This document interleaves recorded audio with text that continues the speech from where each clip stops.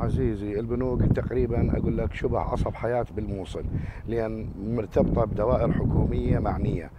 لا تقدر تسحب فلوس لا تقدر تودع فلوس لا تقدر نفس الدوائر اللي المعنية اللي موجودة بالموصل سواء جمرك أو مرور أو ضريبة أو أو تجارة أو زراعة هذه كلها عندها وصولات جباية تودع هاي الوصولات داخل البنوك. حاليا ما تم أي إجراء لأن بنوك ما موجودة، ثاني شيء موجود بنكين، بنك بالحمدانية وبنك بتنكيف، من اللي يروح يودع؟ من اللي يروح يسحب؟ هذه هذه احد أحد الأمور، ثاني شيء أنا هسه إذا عندي مبلغ وأريد أودعه، وين أودعه؟ أبو صيرفة دا يشيل جوالات وينهزم ما حد يندل وين.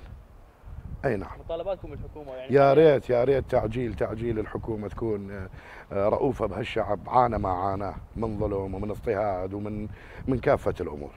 يعني بعد مرور عام على تحرير مدينة الموصل أكثر أكثر من عام. عام تحرير أربعة. مدينة الموصل خاصة الساحل الأيسر. بلي. يعني حاليا لا يوجد أي بنك بالساحل الأيسر ما عدا المندوب اللي مسؤول يعني بدائره بالجا داخل المهندسين. نعم موجود. مندوب. مندوب نعم. مسؤول على البنوك كلها. بلي نعم. يا أكو بناية موظفين والمندوب موجود. بلي. بس شنو شغلهم هذول؟ شنو؟ ما ما ما مقدمين شيء لأن ماكو. بنوك مدمرة. ما يقدر ما يقدر ماكو ماكو ودائع ماكو.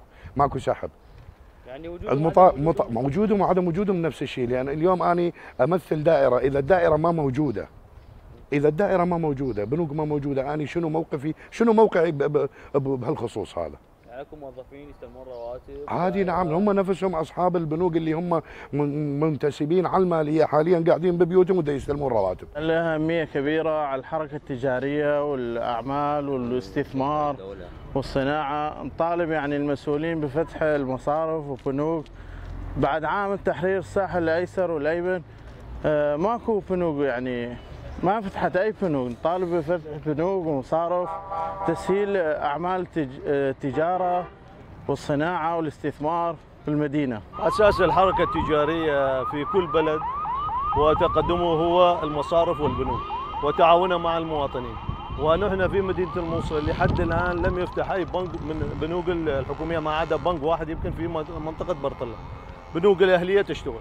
فنناشد الحكومة المحلية والحكومة الاتحادية بالإسراع بفتح البنوك لتسيير أمور الناس وإعطاء القروض للناس لتمشية الحركة التجارية ونشاط المدينة. أكو بنايات مهدمة وبنايات مو كاملة والناس تنتظر البنوك تفتح حتى تراجع العقارات تستلم من عندها المطلوب يعني.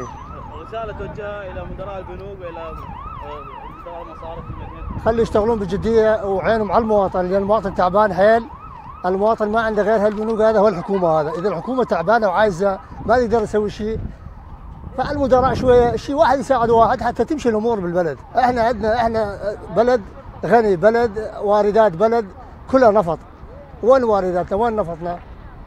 خلي شوية هلا هلا بالمواطن ويفتحون له البنوك هذا وينطوهم وكل شيء بحقه يعني ما ما بلاش.